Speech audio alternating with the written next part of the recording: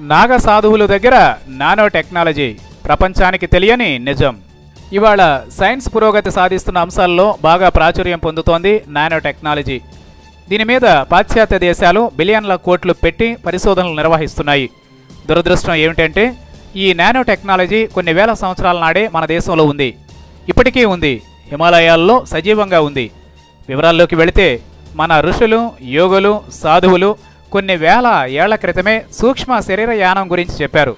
మనం పుస్తకాల్లో చదువుకున్న తపస్సునే ఇప్పుడు ధ్యానం అంటున్నారు. ఈ ధ్యానం ద్వారా అమోఘమైన సిద్ధులు సంప్రాప్తిస్తాయి. అందులో ఒకటి సూక్ష్మ శరీర యానం. దీన్ని నానో టెక్నాలజీలో అడ్వాన్స్డ్ స్టేజ్గా చెప్పుకోవచ్చు. ఇప్పుడు చేస్తున్న పరిశోధనల లక్ష్యం కూడా అదే. మన ఋషులు యోగులు కోరుకున్నదే తడవుగా కోరుకున్న చోటికి ప్రయాణం చేసేవారు.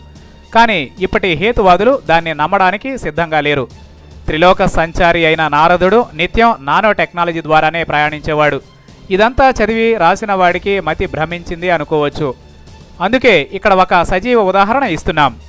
హరిద్వార్లోనూ త్రివేణి సంగమంలోనూ జరిగే కుంభమేళాలు గుర్తున్నాయి కదా? అక్కడికి లక్షలాది మంది నాగ సాధువులు రావడం మనం టీవీల్లో పేపర్లలో చూశాం. నాగ సాధువులు దిగంబరంగా ఉంటారు.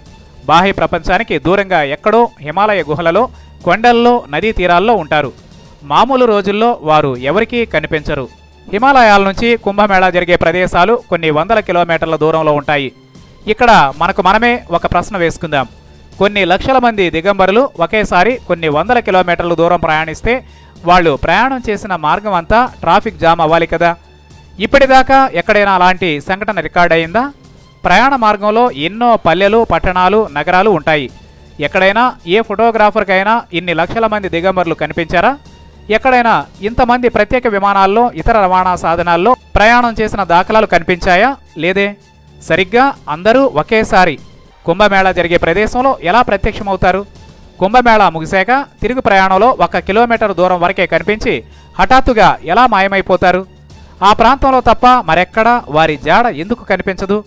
వీటన్నింటికీ సమాధానం ఒకటే. అదే సూక్ష్మ శరీరయానం. అదే నానో టెక్నాలజీ.